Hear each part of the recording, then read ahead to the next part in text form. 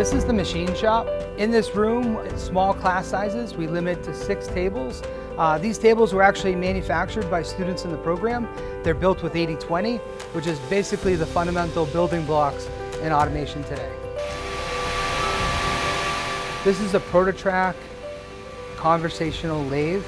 It's a hybrid machine tool that is both CNC and manual. Uh, and this is great for small batch prototyping uh, in industry today. In our program, we have a basic machining class and a CAD CAM class. Our basic machining class, you make an engine that looks like this, and really we focus on fit, form, and function, understanding how to make accurate tolerances, and to really be safe in the lab. This is the computer-aided design room.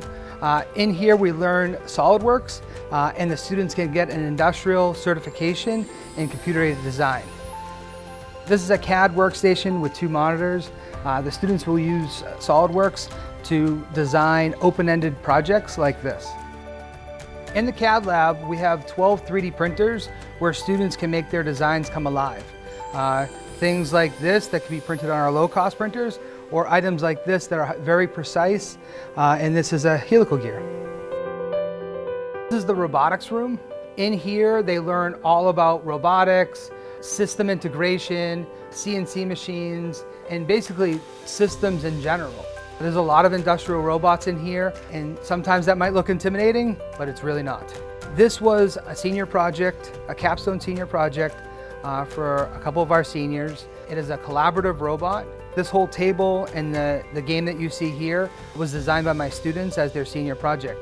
This project will find the objects on the light table, pick, the, pick up the tray, put it down, stack the blocks that are the same color, and then stack another tray on top of that and put those objects in that color.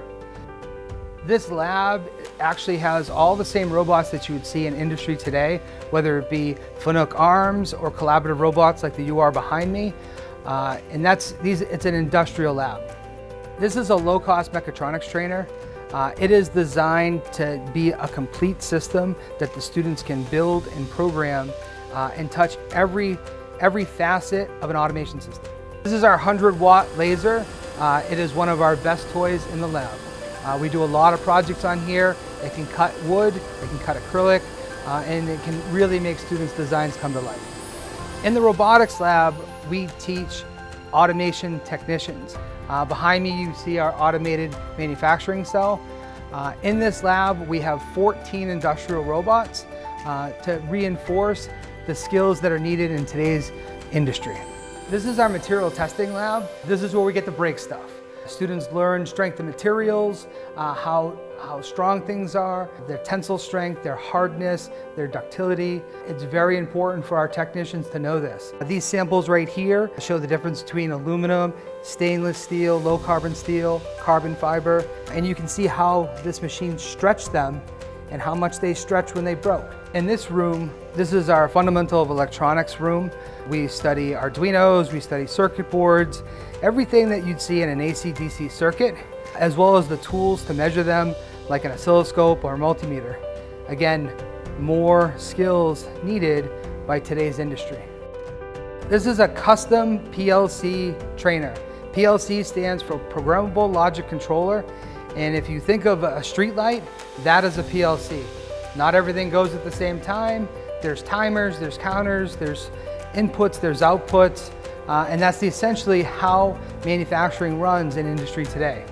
Um, students with these trainers start with a bare board, uh, wire in all the sensors, understand relay logic, and then eventually mount, mount, wire, and program a PLC as part of our coursework here.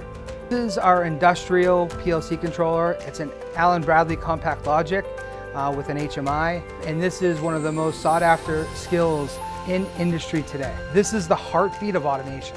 PLC programming is a higher level training that is very, very much in demand in New Hampshire and the country. Uh, a lot of people know how to do the electrical side, a lot of people know how to do uh, the mechanical side, but a lot of people don't understand all the logic the sensors, the wiring, and the programming that ties all this together, making it a true mechatronic system. We hope you enjoyed the tour. Uh, we have an amazing program here at MCC. Uh, my contact information with my email and my phone are on the screen right now. We look forward to seeing you. If you have any questions, please contact me.